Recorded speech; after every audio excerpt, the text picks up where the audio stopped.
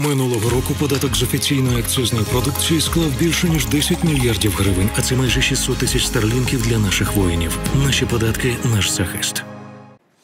Уламки ракети впали на корпус котельні одного із закладів освіти Голосіївського району Києва. Обійшлося без постраждалих. Моя колега Катерина Лебединцева нині перебуває на місці події. Катю, вітаю. Розкажи, яка ситуація на даний момент. Олю, вітаю. Так, справді зараз ми знаходимося у Голосіївському районі. Саме тут сьогодні зранку від е, падіння уламків ворожої ракети було пошкоджено будівлю одного з навчальних закладів Києва.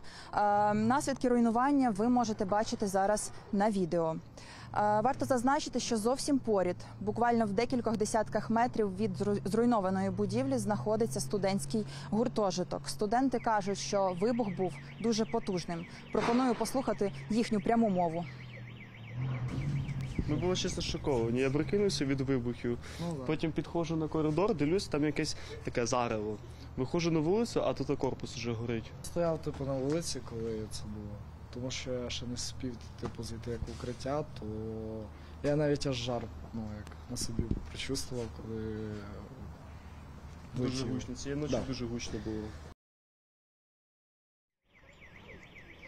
На щастя, на території навчального закладу ніхто цього ранку і цієї ночі не постраждав. Зараз тут продовжують тривати роботи по ліквідації наслідків ворожої атаки. На цьому у мене все. Олю, передаю тобі слово. Дякую, Катю. Катерина Лебединцева була наживо зі студією. Розповіла про наслідки падіння уламків ракети у Голосіївському районі столиці. Загалом у Києві через обстріл росіян постраждали двоє людей. Одного із них довелося ушпиталити. Повідомили у Київській міській військовій адміністрації. Падіння уламків у столиці зафіксовано у чотирьох районах: Шевченківському, Святошинському, Голосіївському та Солом'янському. Як наслідок, за попередніми даними, загорілись чотири авто, нежитлове та складське приміщення. Нагадаю, Росія розпочала свою комбіновану атаку шахедами, які постійно змінювали курс. Далі запустили крилаті та балістичні ракети. Основний удар був спрямований на столицю. За даними місцевої влади, силами оборони було знищено понад десяток крилатих ракет, а майже стільки ж балістичних та ударний безпілотник. одночасно, коли крилаті ракети підходили на столицю. Також е, столиця була атакована балістичними ракетами. Знову ж таки, тип і кількість уточнять у повітряних силах. На Київ ці ракети заходили після складних маневрів. Я зараз про крилаті з південного напрямку. Ну і відповідно до цього ще додався один ударний БПЛА.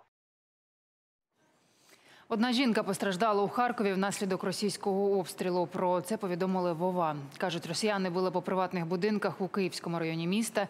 Під ранок окупанти обстріляли і індустріальний район. Спалахнув приватний будинок та три нежитлові будівлі.